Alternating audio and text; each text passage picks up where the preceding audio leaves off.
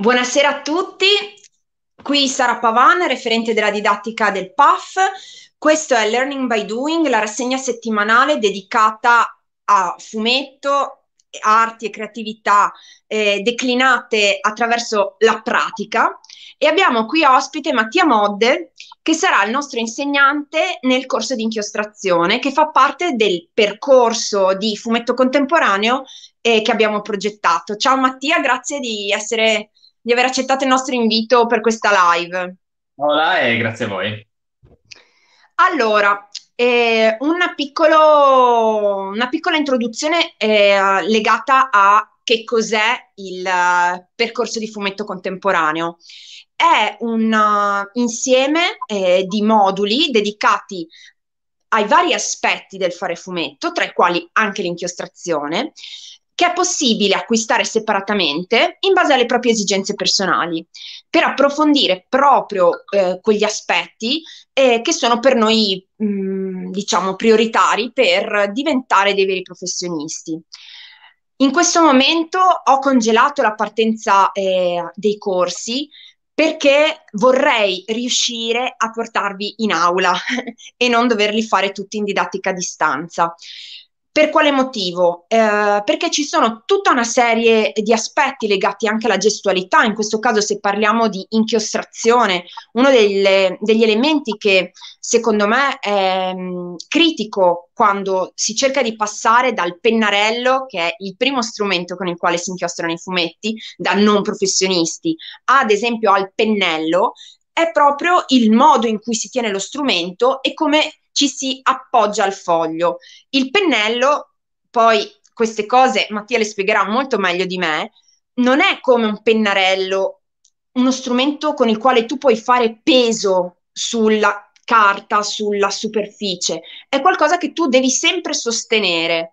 E se una persona sbaglia la gestualità, riuscirà soltanto a fare degli, degli sgorbi terribili e non riuscirà a modulare il segno. Queste sono piccole cose che si imparano davvero facilmente avendo vicino a sé una persona che sa inchiostrare e che ti dice come impugnare correttamente e che vedendoti sbagliare può realmente correggerti nel momento. E, mh, questo non vuol dire che non si possa imparare a fare inchiostrazione anche in didattica a distanza. Perché? Perché seppure io conoscessi Mattia Modde da tantissimi anni e lo rispettassi decisamente eh, come fumettista, non avevo idea della sua grandissima competenza in ambito di inchiostrazione. Perché questo? Perché ehm, un fumettista, una fumettista può fare dei lavori eccelsi e non essere né in grado di spiegare come è riuscita o riuscito a farli, né essere competente in così tante tecniche diverse. E uh, come ho fatto a scoprire che Mattia in realtà è una delle persone più preparate nell'ambito dell'inchiostrazione? Perché ho seguito una sua lezione ed è stato tutto quanto merito di un altro nostro docente, il docente del mitico corso di fumetti manga, viaggi manga, Matteo Batetta, che ha invitato Mattia Modde a partecipare con una lezione. Scusate, giuro che non ho il Covid. Bevo un sorso di tè. Ciao Matteo, grazie che ci stai guardando.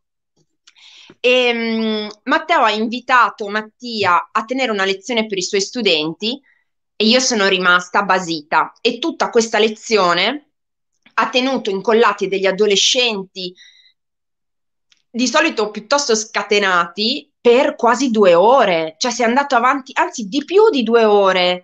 Era di più. Era più di due ore, cioè una cosa pazzesca.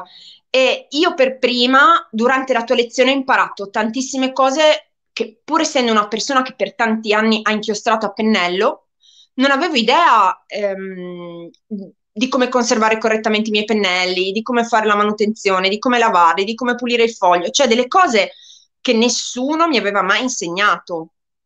E mh, diciamo, vi ho raccontato nelle puntate precedenti da cosa mi è nata l'idea di questo percorso. Io non ho frequentato una scuola di fumetto o un'accademia, però non sono nemmeno un autodidatta, ho fatto diverse masterclass, sono stata mh, diciamo a fare la gavetta in studio da diversi disegnatori, quindi ho visto lavorare dei professionisti ma nessuno di loro mi ha mai spiegato e probabilmente nessuno di loro sa tutte le cose che ho imparato da Mattia durante questa unica lezione. Quindi provate a immaginare quello che vi può trasmettere durante un corso più strutturato che vi permette davvero di eh, scoprire i vari strumenti. A questo punto ti lascio la parola Mattia per fare un brevissimo excursus eh, di quelli che sono gli strumenti che tu presenterai ai nostri studenti. Ok, ottimo. Allora, sì, come dicevi tu, eh, in realtà ci sono tante, tante cose. Molti inchiostratori spesso, tra cui ti dirò anche la verità, anch'io, mh, si trovano una sorta di kit con il quale poi loro si trovano bene e continuano a usare quello nel tempo. Io, eh, essendo partito, diciamo, anch'io un po' come autodidatta e poi avendo studiato in, in varie, varie modalità, diciamo, eh, mi sono costruito nel tempo tanti di questi kit, poi adesso ne uso uno solo, ma in realtà a seconda del progetto cambio. E quindi per me mi viene anche molto facile trasmettere questa cosa qua, perché nel tempo me, me la sono sudata step dopo step. E quindi dai, allora, tagliamo subito la testa a questo toro e mostriamo subito gli strumenti, cosa dici? Ok. Allora, Adesso avremo l'onore di vedere la postazione di Mattia. Allora, questa è... qua è la postazione da lavoro e partiamo dal primo vero grande strumento, ragazzi. Questo forse ve lo diranno anche gli insegnanti di disegno, ma ve lo voglio ripetere. Questo, come vedete, è una tavoletta inclinata. Eh, non ve la alzo se non rovescio tutto, ma questo qua vi salverà la schiena e vi permetterà di non avere soprattutto troppo peso con la mano sugli strumenti come i pennelli, per dire. Ok? Poi partiamo dalle cose, diciamo, che sembrano... Partiamo da, dal contrario. I vasetti. Quante olive avete mangiato? Tante? Bene, tenete tutti i vasetti perché li dovete riempire d'acqua. Più ne avete, meglio è. Di solito due per gli inchiostri neri e uno per il bianco. Questo va sempre benissimo. Poi un foglio, come vedete, pieno di pennellate. Un foglio bianco dove andare a scaricare i pennelli o gli vari strumenti. E poi tutta una serie di panni che come vedete hanno visto diverse inchiostrazioni che servono per pulire o comunque mantenere sempre puliti i vostri strumenti. Ok, bene, poi andiamo sicuramente nella parte core che potrebbe, vediamo se magari spegnendo la luce generale. Vedete lo stesso? Sì, vediamo, vediamo molto bene Perfetto. comunque.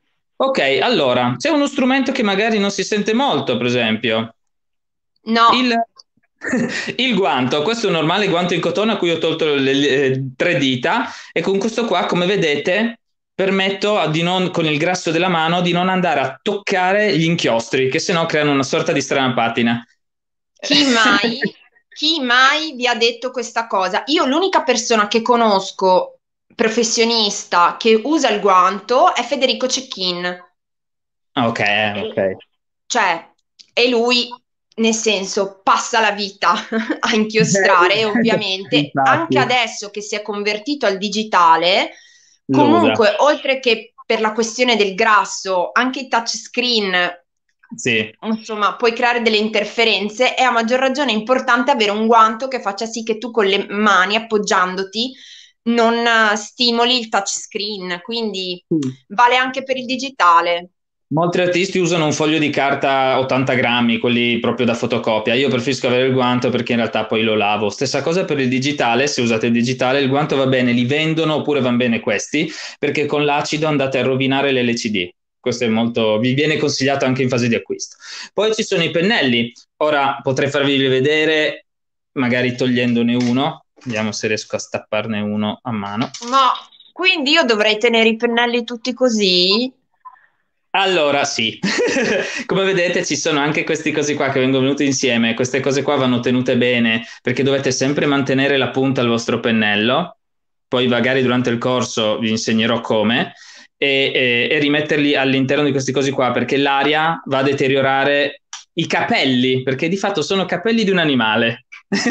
e quindi come il pH che avete voi, i pennelli hanno pH. E dopo vedremo anche, infatti, durante il corso con che saponi lavarli questo qua con una mano non ce la farò mai ad aprirlo, sai.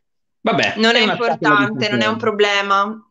È Già stiamo afferrando la complessità della materia e ti assicuro, tantissimi professionisti non conoscono tutti questi aspetti. Poi abbiamo magari alcuni strumenti molto più tecnici, perché io vi dirò, mio padre a suo tempo faceva le cartine, era un cartografo, quindi usava pennini e rapidografi. Io da lì che ho imparato le prime inchiostrazioni, a fare le barbette alle montagne. Non so se avete idea, tipo ok? tipo le mappe de- de- della terra di mezzo. Questi qua sono, non sono pennarelli, ma sono rapidograph, strumenti molto diversi, a canna rigida, sono ricaricabili, vanno mantenuti con molta, molta delicatezza, infatti hanno anche delle anime all'interno che poi si vanno a lavare tipo con l'alcol. Questo è un esempio. Pennarelli bianchi, pennarelli bianchi, queste sono canne che si usano proprio per mettere i pennini e poi abbiamo infatti loro, i pennini, da quelli giapponesi a quelli che in realtà io adoro un po' di più, che sono gli italiani, oppure marchi inglesi. Ecco, sul pennino, di nuovo, la gran parte di noi è stata, diciamo, mh, mm, introdotta al pennino con i classici pennini Pelican eh, che si usano alle medie. Quelli che giravi la cannella e gli mettevi la testa al contrario, sì, sì. Eh, no, non c'entrano niente, ragazzi. Qua abbiamo certi strumenti della Gillot, per esempio, questo qua è il mio preferito, il 290 della Gillot, ragazzi. Questo qua è molto raro da trovare, molto raro da trovare, soprattutto funzionante, ed è uno strumento che quasi posso piantare. Alcuni artisti lo soppiantano totalmente il pennello, anche se è un po' più, diciamo, gratta un po' di più il foglio, però ha una capacità di, di, di, di segno, di alterazione del segno incredibile. Poi cose Io scontate? Mi Vai. permetto di interromperti un attimo, Mattia, per dire che noi avremo dei docenti che sono dei virtuosi del pennino. E uno è in realtà il nostro insegnante di anatomia che probabilmente non vi farà usare l'inchiostrazione, eh, che è Francesco Cattani, ed è stato da lui che ho scoperto che a volte un fumettista può anche riuscire a, tra virgolette, diciamo, rompere un pennino, non so come, mm, che termine tecnico dovrei usare, anche solo per fare una tavola o tre tavole.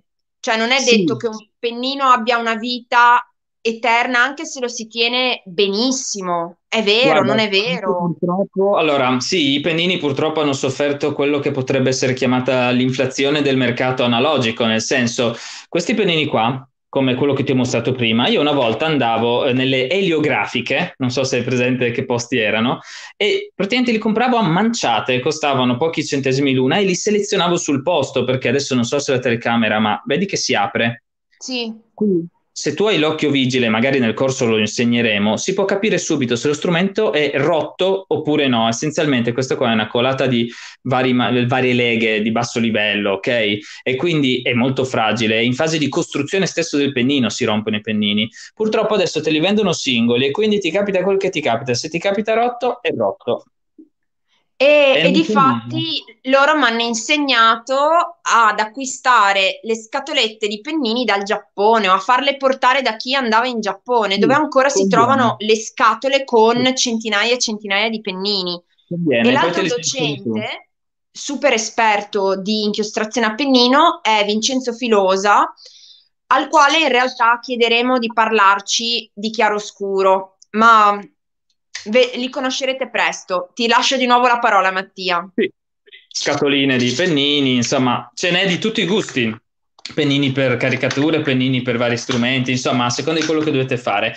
Poi una bella boccetta di alcol per pulire ovviamente gli inchiostri. È una cosa che spesso viene sottovalutata, ma in realtà è una fase molto importante dell'inchiostrazione chi sono le gomme? Allora, questa serve per la fase finale. Io adesso ho solo questa perché questa qua che viene dal Giappone, adesso in questo momento di pandemia non viene più distribuita. O almeno io non la trovo più, e eh, non la trovo più. Però si trovava tantissimo.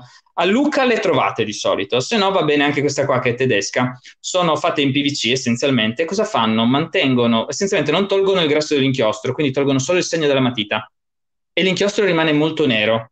Non usate le normali pen, gomme quelle bianche perché quelle tolgono tutto. Oppure prima di inchiostrare togliere un po' di, eh, di matita perché se no il grasso, se usate una matita soprattutto una 2B, una 4B, il grasso non permette all'inchiostro di penetrare nel foglio, soprattutto se avete un foglio che magari ha, un, ha, una laccatura leggera, ok, beh che è tutto acid free, però insomma, un altro strumento di cui io mi faccio sempre vanto di insegnare sono contentissimo è questo, La spazzola di fatti!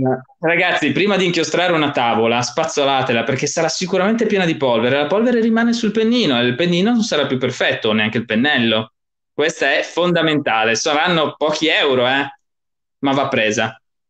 Mattia, dobbiamo fare un test a tutti i grandi fumettisti e le grandi fumettiste che passano eh, dal PAF per mostre, eventi, eccetera. Un test eh, di competenza di inchiostrazione sull'utilizzo degli strumenti chiedendo voi passate la spazzola sulle vostre tavole? Io scommetto che tantissimi non lo fanno. Eh, allora, ti dirò la verità, io purtroppo per mia diciamo prerogativa sono uno abbastanza, passami il termine, pulito, nel senso sì, man- mantengo gli strumenti sempre puliti, in realtà un inchiostratore di base non lo fa così spesso, per esempio i, molti inchiostratori usano anche solo per poche tavole un solo pennello poi lo rompono, però io, io dico, è fatto con setro di Martora. Prova, povera Martora, perché devo rompere i pennelli? Teniamoli bene, anche perché costano. Però sai, un inchiostratore a volte deve stare dietro a delle tempistiche che magari non sono le mie, che non sono ad altissimissimi livelli come uno che fa tante tavole in settimana e lui a un certo punto dice cosa mi conviene fare? Eh, lo capisco, lo capisco. Però ti chiedo, eh, adesso trovare i pennelli di Martora è diventato un po' più difficile e, ehm, spesso ci propongono dei pennelli sintetici. E nel corso di acquerello abbiamo imparato in realtà che ci sono dei marchi di pennelli sintetici che producono dei pennelli per l'acquerello in questo caso validissimi. Questo discorso si può fare anche per l'inchiostrazione? Allora, io potrei dirti che in una fase iniziale di apprendistato iniziale in cui uno proprio deve apprendere, si potrebbe. Eh, in realtà, per quanto riguarda l'acquarello, è da tanto che si è iniziato a fare degli strumenti sintetici e si riesce ad avere un buon risultato. Il problema è che l'inchiostro, a seconda anche dell'inchiostro che usi, ha una componente diversa perché non sono tutti a base d'acqua. Questo qua, per esempio, non è a base d'acqua, questo qua sì, è a base d'acqua e quindi si possono usare magari. Eh, questo qua, per esempio, ha delle componenti di gomma e quelle robe lì purtroppo hanno bisogno di un, per avere una nettezza del segno uno strumento effettivamente di alta qualità. Detto questo, se sei all'inizio andare a prenderti la, la martora magari per rovinarla, potrebbe essere non giustifica- giustificato. Ma mh, mm, nel momento in cui hai preso un po' di dimestichezza, secondo me attualmente è uno strumento comunque impareggiabile, purtroppo. Purtroppo perché se potessi non dover comprare neanche io la martora, lo farei. Ho provato, non ottieni lo stesso risultato. E, e credo che anche i miei colleghi ti diranno lo stesso. Alcuni so che usano qualcosa di sintetico, ma un'inchiostrazione profondamente diversa. Noi nel corso andremo a vedere che esistono vari tipi di inchiostrazione, magari qualcosa di un po' più pennellato che va a simulare in realtà qualcosa di un po' più pittorico, e invece qualcosa un po' più, non so, all'americana, che ha il segno perfetto. Il segno perfetto lo fai solo con la martora. Le altri generi puoi avere altri pennelli. Sì. Poi strumenti più strani, come la spugna, che serve a fare l'effetto spugnatura, e piuttosto quello che magari, se soprattutto c'è gente che ama tanto i manga, questo qua lo usano tanto in Giappone, anche se usano una tecnica col pennino che io non faccio perché rovina i pennini, e lo spruzzo fatto con lo spazzolino vecchio pieno di, di, di inchiostro. Più è vecchio, meglio viene. Poi abbiamo ovviamente i grandi campioni, gli inchiostri, ce n'è tanti di tanti generi. Purtroppo non si può mai indicare uno specifico, non lo farò mai, io indicherò alcune cose e alcune che io preferisco, perché l'inchiostro al pennello diciamo è questo, sinceramente due o tre marche e poi sono quelli. Invece gli inchiostri e altri piccoli strumenti come la carta, che adesso non vi mostrerò, ma ce n'è da raccontare anche lì, eh, in realtà sono soggetti a come tu vuoi inchiostrare. Quindi io per esempio uso questo, bene, da quando uso questo disegno in quel modo. Prima usavo questo, disegnavo in un altro modo, perché effettivamente l'inchiostrazione è un, non è che tu inchiostri, è un mix di quello che usi con le tue capacità.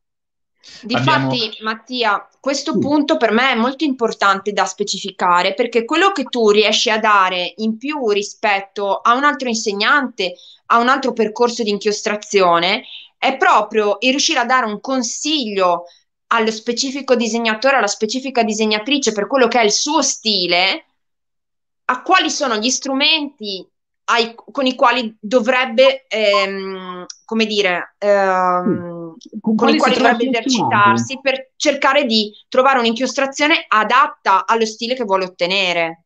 Guarda, io ti dico la verità, essendo nato e cresciuto qua in Friuli, mi trovo praticamente ai confini dell'Italia, ok? E qua non si arriva mai ad avere molte informazioni, già a Pordenone siete più fortunati. E quindi molte, molte cose, ho dovuto fare tutti i test, quindi io ho comprato tonnellate di carta e, e tolitri di inchiostri, ho fatto tutte le combinazioni e in questo momento ho trovato la mia, però ognuno deve trovare la sua. Per esempio io amo la carta magari un po' patinata, c'è gente che non la sopporta.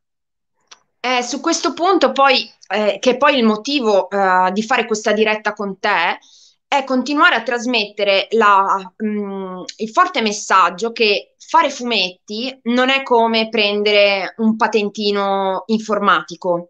Non ci sono le dieci tappe eh, da spuntare no. e poi sei un fumettista il percorso di ogni artista è, è, costellato da tantissime deviazioni, ricerche, approfondimenti. E, mh, è molto più nutriente il contatto che possiamo avere con qualcuno che ha ricercato e studiato tantissimo eh, rispetto magari a mh, leggere la teoria dell'inchiostrazione e basta perché Guarda, è qualcosa di così astratto che non è calato nel nostro contesto italiano, nei materiali che io posso trovare, nello stile che vorrei avere. E, ehm, è qualcosa che rischia, se non viene fatto come lo stiamo proponendo noi, di essere qualcosa che non è utile. Ecco. Guarda, totalmente d'accordo. Sai, credo che tutti quelli che poi parteciperanno si sono informati a suo tempo, magari hanno comprato dei libri che sono vaghi, ti dicono usa una carta patinata opaca. Eh, ho capito, ma cosa vuol dire? Io qua in Italia ho Canson, queste marche qua, devo capire cosa.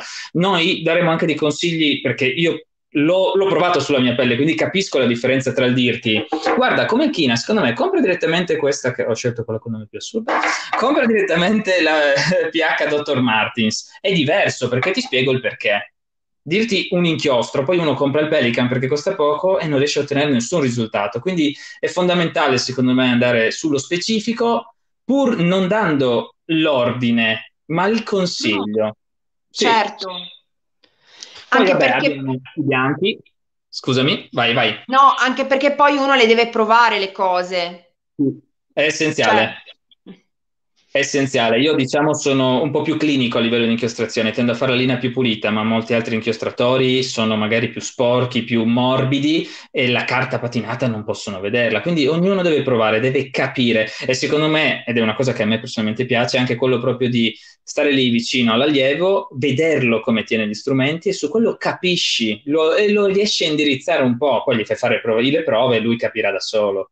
E, t- c'è tanta prova, infatti in realtà è un lavoro in divenire. Se voi fate molta attenzione, questo è un consiglio che posso dare agli ascoltatori che lo fanno per diletto. Provate a guardare i vostri autori preferiti. Noterete che dopo un tot di anni cambieranno sia stile di disegno, ma sia stile di inchiostrazione. Perché?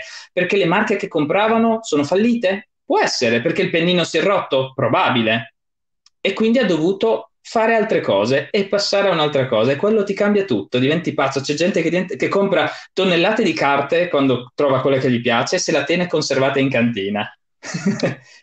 Tu scherzi, ma io ricordo quando ho iniziato a fare da assistente a Davide Toffolo, lui sì. aveva interi pacchi di, in quel caso lì non era tanto forse il tipo di carta, ma il fatto che si era già fatto preparare una squadratura in azzurro mm, e aveva questi fogli penso fossero mh, eh, comunque può darsi dei Fabriano o simili, ma che aveva ordinato direttamente in, mh, in fabbrica, tra virgolette, mm-hmm. eh, con questa stampa in azzurro, eh, che erano proprio i puntini eh, degli incroci chiave per eh, la griglia delle vignette.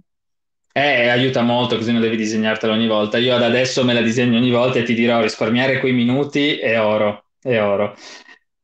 E, ok, e niente, poi si continua con gli inchiostri bianchi, che abbiamo magari un normale acrilico piuttosto che un inchiostro. In realtà preferisco l'acrilico sia perché è più economico, sia perché... Vabbè, ma questo poi lo diremo, dai, non, non spoileriamo. Ma no, io ti interrompo però un secondo ah. di nuovo e ti sì. chiedo, ma perché il bianco? L'inchiostrazione è nero.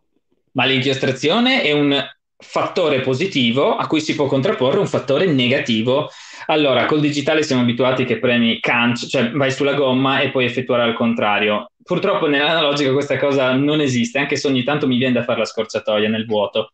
E quindi siamo costretti a usare i bianchi. In realtà grandi mol- alcuni grandi inchiostratori lavorano, italiani soprattutto, lavorano con grosse campiture di nero e poi lavorano tanto in negativo a togliere con i bianchi. È una cosa piuttosto difficile che secondo me acquisisci solo con grande esperienza, però da grandissimi risultati che sinceramente lasciando solo i campi vuoti bianchi non ottieni. E quindi mi stai facendo venire in mente una cosa che non c'entra niente con l'inchiostrazione, che ho potuto ammirare quando ho visitato la mostra di Breccia durante il Bilbo Bull dello scorso anno.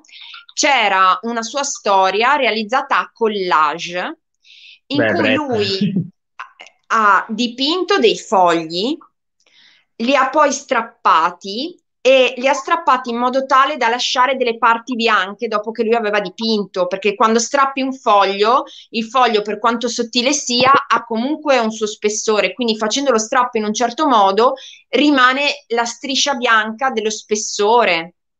Sì. E ha delimitato le figure grazie agli strappi dei fogli, che io manco se ci, ci impiego, non so, la, tutta l'attenzione del mondo a ritagliare una figura così a mano, dallo, non ci posso riuscire. Guarda, Una cosa pazzesca. Secondo me hai fatto l'esempio più calzante per dirti proprio la differenza di tecnica in relazione agli strumenti. Breccia utilizzava tantissimo le spugnature, usava tantissimi tipi di, di in realtà di, di, strumenti, per anche le pietre usava ogni tanto.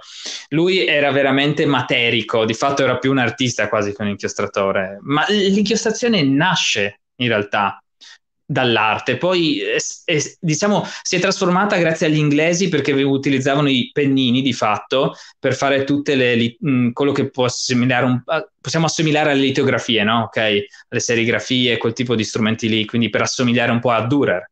Però da lì si è trasformata, ma parte da una, par, da una, da una componente artistica, di fatto è un lavoro artistico.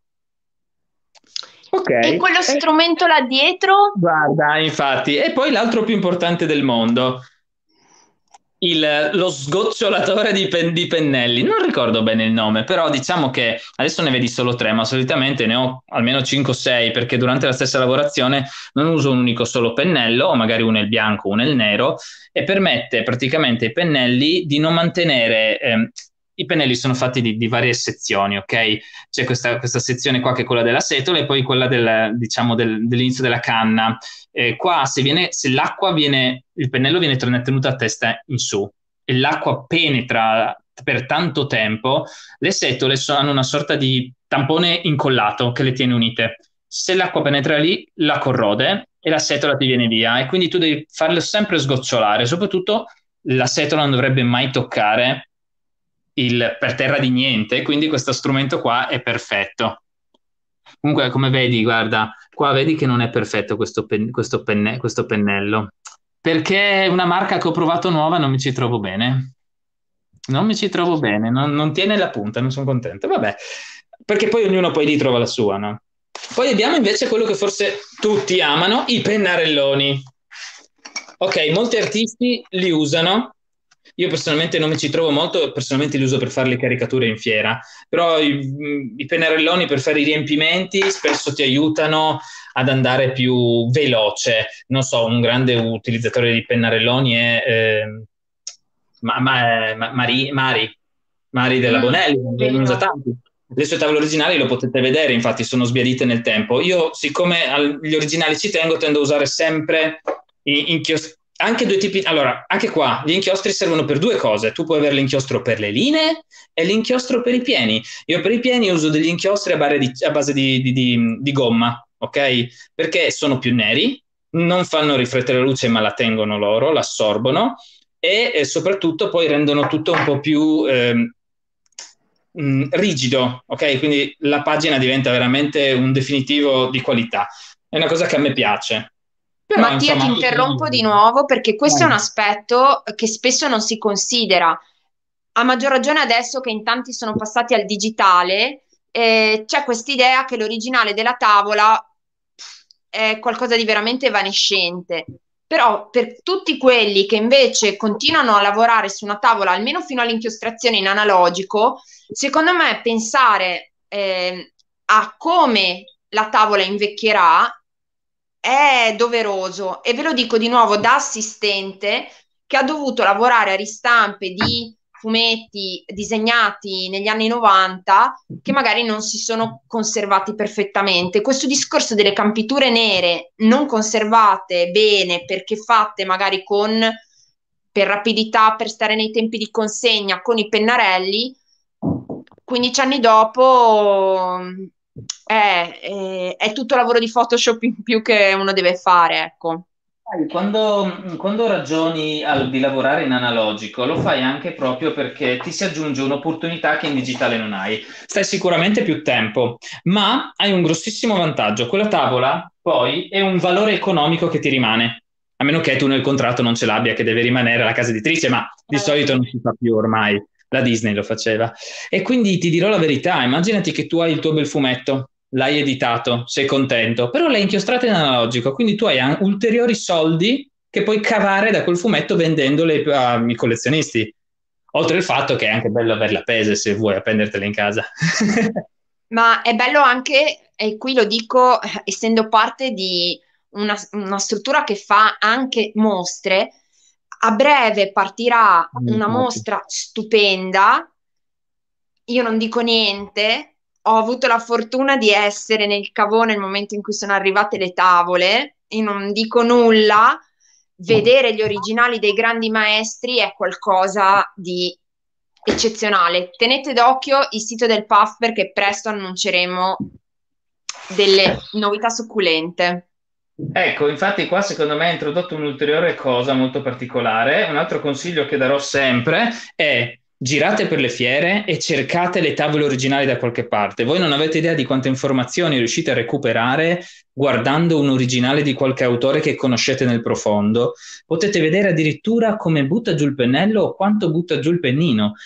È veramente un'altra cosa guardare gli originali, quindi è fondamentale che questi originali girino perché sono anche una piccola fonte di insegnamento per chi viene dopo. Sembra di no, ma per noi che facciamo didattica è molto importante. Ah, una cosa volevo aggiungere prima quando hai parlato dei pennarelli. Nella mia esperienza personale, di nuovo, l'aver imparato a usare il pennello, nel mio caso, mi ha poi insegnato a usare i pennarelli in modo diverso. Quindi un mio vecchio disegno, prima che io imparassi a inchiostrare a pennello, fatto a pennarello, e un mio disegno, dopo che ho acquisito una manualità con il pennello, anche inchiostrato a pennarello, sono profondamente diversi perché il gesto del pennello mi ha insegnato a gestire anche il pennarello in modo diverso. Assolutamente, diciamo che ehm, è, forse il procedimento migliore saper prima usare il pennello e poi provare, a usare qualsiasi altro strumento, perché comunque uno dice, boh, sai, il rapidograph piuttosto che un, una micro pen fanno quel segno lì, e eh no, non fanno quel segno lì, fanno quel segno lì in una mano inesperta, in una mano esperta fanno una moltitudine di segni, soprattutto queste micro pen nuove che tutto sommato sono veramente degli strumenti ottimi rispetto a quelli che quando ero piccolo io, i, i, normali Pigma, sono cambiati tanto, sia quelli con questa punta molto piccola, sia altri strumenti che hanno la punta magari quella un po' finto pennello malleabile, se usati con, con una persona, da una persona che conosce il pennello cambia tutto. Effettivamente qua hai totalmente ragione e per quello secondo me che come prima cosa andrebbe insegnato il pennello, da lì poi si può crescere con gli altri strumenti. Io sono partito personalmente col pennino perché mio padre faceva le carte, quindi la prima cosa, è la prima cosa che ho conosciuto il pennino, l'odore degli inchiostri nel pennino e dell'acquaragia e dopo da lì, quando ho scoperto il pennello, ti dirò la verità, non sono più tornato indietro. Sto usando sempre di meno i pennini se non per cose precise, tipo il pennello per le cose anatomiche, quindi morbide, il pennino per le cose rigide, quindi magari pietre, macchine, piuttosto che armi, per fare un esempio. Poi lì ognuno un po' il suo modo, ecco. Poi volendo ci sarebbero un'altra serie di pennelli che fanno parte sempre per assurdo di pennarelli, fanno sempre parte dell'inchiostrazione, che sono i Copic. Ah, è vero! Essenzialmente sono dei pennarelli eh, giapponesi, ok? Eh, che hanno la, la, la, la, struttura dell'inchiostro, eh, ehm, diciamo, che si fonde con le varie gradazioni. Io ne ho tanti perché ognuno di quello che vedete è una gradazione di grigio questi sono solo grigi freddi, grigi caldi, ne esistono di colorati, bla bla bla bla bla. Diciamo che mh, personalmente non amo fare l'inchiostrazione dei grigi se deve esserci del grigio con la, eh, l'inchiostro acquarellato, preferisco usare i Copic. So che chi, c'è chi preferisce usare l'inchiostro acquarellato, poi lì, insomma... Come mai preferisci Copic? Perché, come ti dicevo, non sono un grande amante delle carte eh, uso mano, perché il mio tipo di incastrazione è un'incastrazione col punto più preciso della linea. Ok? E quindi la, acquarellare un inchiostro ten, su questo tipo di carte tende ad avere un effetto un po' slavato e non assorbono bene. I che invece sono fatti apposta per quel tipo di, di, di, di carta e assorbono benissimo e sono veloci nell'uso. Poi hanno un odore fantastico, questa è una questione personale. Eh. Mattia, possiamo vedere un po' di tuoi disegni adesso? Perché abbiamo parlato tantissimo di tecniche, ma chi ci ha seguito fino ad ora potrebbe non conoscere i tuoi lavori. Quindi vediamo un po', facciamo passare una selezione di immagini e magari tu ce le commenti raccontandoci come le hai inchiostrate. Sì, volentieri. Allora mi rimetto in postazione. Grazie. Poi in realtà mi piacerebbe raccontare prima di partire di questa tua autoproduzione a tema pizza. Facciamo giusto questa piccola parentesi apparentemente fuori, fuori tema, eh, che però è un'autoproduzione divertentissima. Ce la puoi raccontare un attimo? Sì, allora parliamo di di che trancio sei? allora, io sono un grande adoratore della pizza, ok? L'amo tantissimo, come tutti gli italiani, lo so già, però mi piace dire che la amo un po' di più. E quindi ho pensato che eh, dovesse essere il mio primo prodotto ah, totalmente autoprodotto. Dovevo dare la pizza mi dà tanto in cambio, volevo dare tanto in cambio a lei. Ma in realtà fonde due passioni: la pizza e mh, un grande studio, diciamo, del, delle persone. Io sono anche un caricaturista, quindi amo scoprire l'intimità delle persone e tirarla fuori nei tratti essenziali. E quindi eh, praticamente mi sono chiesto, ma un fattorino Eccoli, di pizza... Eccoli, due personaggi. L'idea è praticamente questo fattorino di pizza che apre le varie porte di, di, chi, li chiama, di, di chi li chiama per le consegne a casa e praticamente a seconda della pizza che viene ordinata c'è un tipo di personaggio che rispecchia, è un po' come la questione tra i cani e i padroni. Sai che i cani assomigliano ai padroni? Ok, stessa cosa. La, to- la pizza che ordini assomiglia a te. Quindi mi sono inventato 31 pizze e i relativi 31 personaggi che l'hanno ordinata. Per esempio, il, il ragazzo di sinistra ha ordinato la shakabra, che è una pizza con l'ananas stile hawaiana, per dirci, e lui è un surfista. E, diciamo, lì mh, l'idea era proprio di, di, di, fare in bianco e nero con linea precisa, come vedi, e poi ho aggiunto i grigi in realtà in, col computer. E, e niente, mi sono divertito molto. Come hai inchiostrato? Allora, l'inchiostrazione invece è tradizionale. Eh, ho inchiostrato con pennello e mh, qualche uso di pennino. In realtà la maggior parte sono, è pennello, però, sì, sì. E... Vediamo se Alessia dalla regia ci manda qualche altra immagine. Ad esempio, eccoli, Ok, questo è il prossimo progetto. In realtà, con, data questa situazione pandemica, l'ho un po' rallentato perché tanto fiere purtroppo non ne abbiamo viste molte. Eh, si chiama Nook, è il mio prossimo progetto, sempre credo autoprodotto. E, mh, anche qui, come vedi, ho l'inchiostrazione tradizionale e poi la colorazione in digitale. Sempre un'altra, un'altra tavola. tavola Purtroppo questo, pro- questo prodotto, pro- progetto qua non vede molti neri perché dovendola colorare non ho approfittato. Se fosse stata fatta tutta in inchiostrazione avremmo avuto lo sfondo totalmente nero che faceva risaltare tutte le vignette.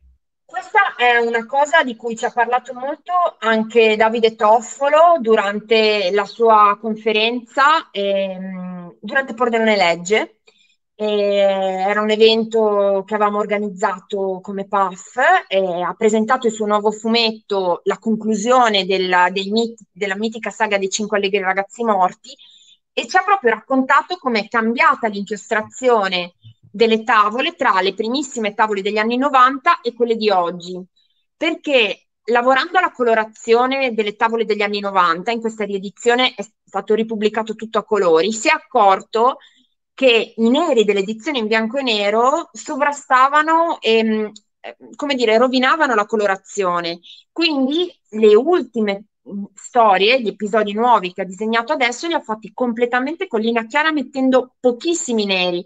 E questa è un'altra delle cose importantissime che impareremo nel corso eh, del tuo, delle tue lezioni. Cioè, dobbiamo già sapere se le tavole dovranno essere colorate o meno quando le andiamo a inchiostrare. Allora, eh, L'inchiostratore ha un ruolo molto particolare, infatti, perché o sei un autore completo e quindi conosci perfettamente tutti gli step e diciamo anche i colori faranno parte del, della tua poetica, ok? Oppure se sei solo, diciamo solo, se sei quell'ingranaggio di, di quella serie di, di, meccanismi, in realtà devi sapere tutto subito, come sarà incolorato, pro- probabilmente sarebbe meglio sapere anche da chi e in che modo, perché il dover fare delle linee molto pesanti su, un, su, una colorazione che poi sarà ulteriormente pesante andrà a uccidere tutto. Invece che fare magari una colorazione molto più semplice allora tu puoi lavorare di linea la linea sottile, la linea grossa, a seconda di quello che poi sarà, sarà lo step successivo. E ti dirò di più, in realtà sarebbe, sarebbe molto bene sapere anche come verrà stampato, perché è un ulteriore step. Ok, faccio un esempio che io amo fare sempre, ma poi so che insomma ci sono detrattori oppure chi insomma non è d'accordo. I fumetti americani. L'inchiostrazione americana forse è attualmente la più professionale che esista sul mercato. Può piacere o non piacere, ma io parlo di professionale. È veramente costruita in un modo incredibile, soprattutto quella manuale, quella analogica. E purtroppo, secondo me, invece i colori vanno a uccidere ogni tavola. Tu vedi queste inchiostrazioni piene di dettagli, di barbette, di... e poi inchiostrazione, eh, colorazione pesantissima digitale tu non capisci più niente di quella tavola, però agli americani piace, non ci puoi fare niente. Infatti a suo tempo, per esempio, un grandissimo che fece scalpore fu Mignola per Hellboy, perché aveva un'inchiostrazione molto italiana, a macchie di colore, molto italiana anche perché, perché era venuto qua a conoscere alcuni personaggi con cui aveva parlato e ha rubato un po' da noi. Bonelli dice niente, macchie di colore, ok. E, e poi lui l'ha portata là, e facendo queste grosse campiture, in realtà eh, originariamente era in bianco e nero Hellboy, poi quando è stato colorato, infatti chi l'ha colorato possiamo dire che sia veramente un grande coloratore, perché se tu guardi una tavola di Hellboy ti stupisci di come un colore possa far funzionare una tavola così bianco e nero puro. E lì è un lavoro incredibile del coloratore e l'inchiostratore, diciamo, sapeva anche cosa sarebbe successo dopo. Comunque Hellboy è un progetto molto particolare. Mi permetto di raccontare giusto due cose sul nostro modulo di eh, colorazione digitale. Avremo una bravissima insegnante che è Fabiola Ienne, eh, che oltre a essere stata la colorista delle tavole di Toforo di cui vi parlavo prima, è anche eh, la colorista di tantissimi progetti, tra i quali anche DuckTales, la versione a fumetti, e di DuckTales abbiamo parlato della versione animata in una delle nostre puntate di Learning by Doing, in questo caso curata da Alessia Agostinis. Se volete recuperare questa puntata la trovate sulla nostra pagina Facebook o sul canale YouTube. E insieme anche, prima abbiamo nominato Matteo Battetta, io vi raccomando di recuperare le sue conferenze dalla primissima alle ultimissime, in particolare quella su Akira e quella su Satoshi Kon sono fondamentali per la cultura generale di chiunque voglia lavorare diciamo a vario titolo nel fumetto, nell'animazione o nella, nella produzione creativa in qualsiasi, in qualsiasi sfumatura. E torniamo a noi e ci dirigiamo verso la chiusura di questa nostra live e guardiamo qualche altra tavola. Eravamo arrivati alle tue tavole più dark avevamo visto proprio l'immagine che abbiamo usato per la locandina di questa diretta. Ecco, di che cosa si tratta? Guarda, mm, questa qua è una mostra che abbiamo tenuto a Maccheri ed è praticamente, era una mostra totalmente dedicata a Tezuko, Tezuka. E quindi questo è il mio, eh, il mio astro. E qua, per esempio, come vedi, è tutto pennello, tra l'altro un pennello molto grosso, il numero 4, che è uno dei numeri, diciamo, più grossi che si usa nell'inchiostrazione, e a differenza della mia solita tecnica ho utilizzato una tecnica più spennellata, come puoi vedere diciamo nei bordi delle macchie di colore di nero. E lo vedi che no? Vedi proprio il pennello. Qui ho un po' rovinato il pennello per farlo, però è qualcosa che si fa. Chi usa questa tecnica è un famoso rovinatore di pennelli, purtroppo. Questo qui esempio, invece... Eh, a proposito di pennarelli, questo qua, che ci si creda o no, comunque è tutto fatto con un micropen in fiera, con un micropen wow. da 02. Eh, diciamo che si ottiene, si ottiene, veramente tanto da quegli strumenti se, se li usi con diligenza. Questa era una mostra dedicata a Attack on Titans, tenuta a, Treviso e qua ha sempre colorazione digitale, inchiostrazione invece totalmente analogica, sempre pennello, qua è tutto pennello e il numero sempre 4 credo, sì, sì, sì, sì. Ma è il formato dei tuoi originali, scusa? Allora, anche questo è una di quelle componenti che mh, varia tantissimo. Allora, io uso un formato eh, di carta A3, ma disegno leggermente un po' più sotto della 3, ok? Adesso non so dirti bene perché a seconda di cosa stampo poi cambia un po', no? Perché in proporzione, però diciamo disegno in A3, molti disegnano in A4. Secondo me non esiste un motivo per cui fare una cosa piuttosto che un'altra, ma esiste una condizione, nel senso, sembra di no, ma quando tu disegni Faccio l'esempio proprio di Mignola. Facciamo l'esempio di Mignola piuttosto che i fumetti Disney. Ok? Anche i fumetti Disney non si disegnano in A3. Perché? Perché se, tendenzialmente, eh, se si disegnasse in A3, non si riuscirebbero, ma non è solo quello, ma anche la linea, piuttosto che anche chi disegna, non riesci in formato così grande a essere così mh, morbido, perché vai troppo in grande e soprattutto con gli inchiostri vai troppo in grande con la linea, non riesci a stare dietro a queste dimensioni e quindi si tende a disegnare più in piccolo. Facciamo sempre un esempio della Disney. Se vi ricordate PK, invece fu disegnato in un formato superiore. Perché? Perché aveva più dettagli e doveva rispecchiare una estetica da comics americano. I, I, fumetti, per esempio, giapponesi sono quasi tutti disegnati in, in formati grandi o medio-grandi, in realtà è un formato loro particolare. E i francesi, per esempio, possono essere disegnati in un 700. Di solito lo fanno i grandi acquerellisti, quelle cose lì, però succede anche questo. Quindi immaginati delle tovaglie. Ti dico, il grosso ostacolo che abbiamo noi comuni mortali è quello degli scanner. Eh, allora, aspetta. Infatti, io a suo tempo mi sono munito, beh, questa è una mascherina, Di scanner a 3. Immancabile mascherina al giorno d'oggi. Purtroppo. Io mi sono munito di scanner a 3, in realtà non è uno scanner di altissima qualità, se volete vi consiglio, è Mastec, è un marchio in realtà piuttosto di bassa qualità, ma ragazzi, quelli di alta qualità costano veramente tanto.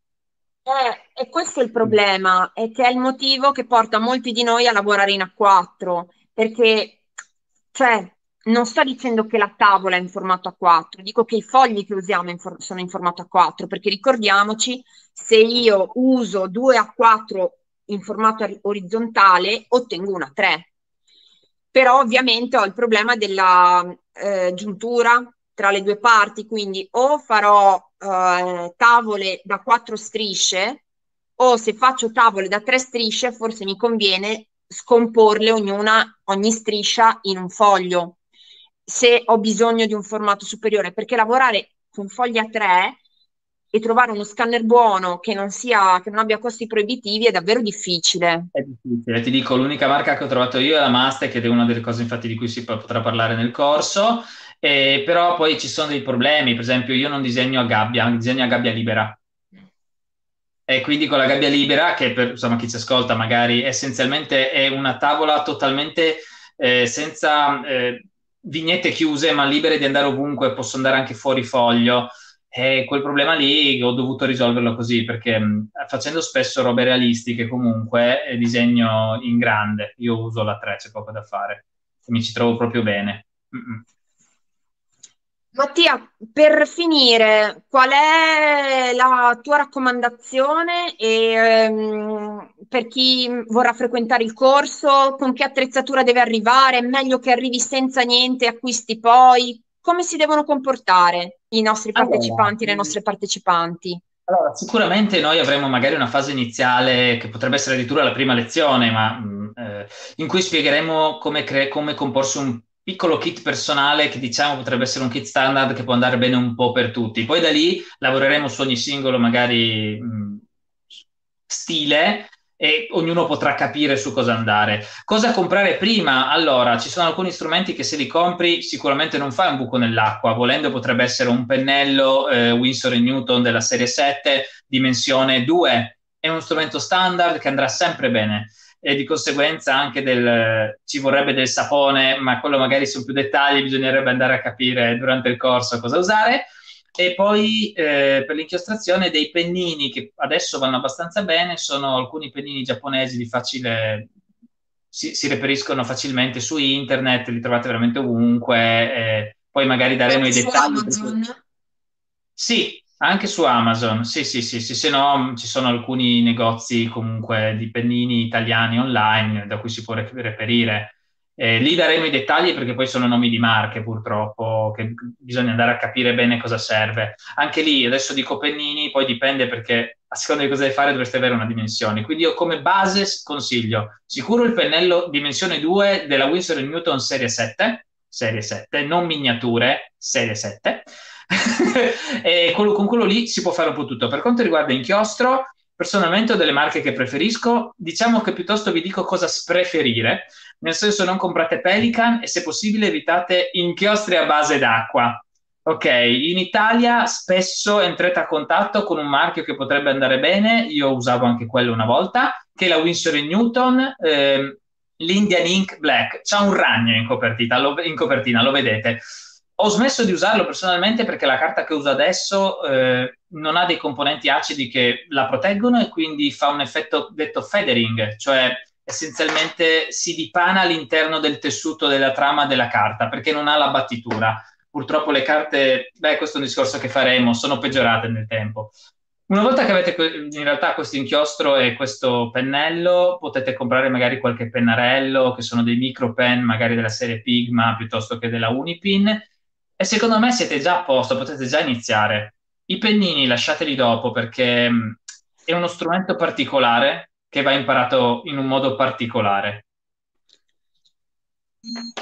Quindi il mio consiglio, diciamo, per un... È meglio arrivare al pennino dopo aver fatto le prime lezioni, insomma. Secondo me sì, perché è uno strumento che molti rischiano anche di rompere, mentre il pennello tutto sommato lo riesci a capire un po' come funziona. O comunque ci sbatti la testa, ma ci sta perché poi ti servirà. Quindi quello è un acquisto sicuramente ottimo. E poi possibilmente, secondo me, una gomma in PVC per togliere eh, la matita in maniera che non levi via troppo inchiostro. Con quei tre strumenti lì potete iniziare.